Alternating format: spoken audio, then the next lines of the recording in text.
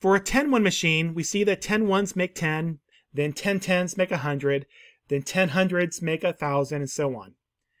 So a 10-1 machine has ones, tens, hundreds, thousands, and so on as dot values. We saw that the code for the number 273 in a 10-1 machine is 273. And this is correct. 273 is two hundreds, seven tens, and three ones. So 273. In fact, we even speak the language of a 10-1 machine. When we write in words, we write 273. We literally say in English at least, two hundreds, seven T's, seven tens, and three. So two hundreds, seven T's, three. 273.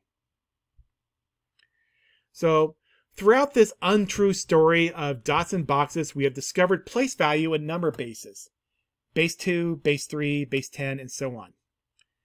And society has decided to speak the language of base 10 machine.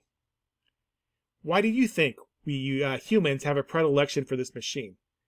Why do we like the number 10 for counting?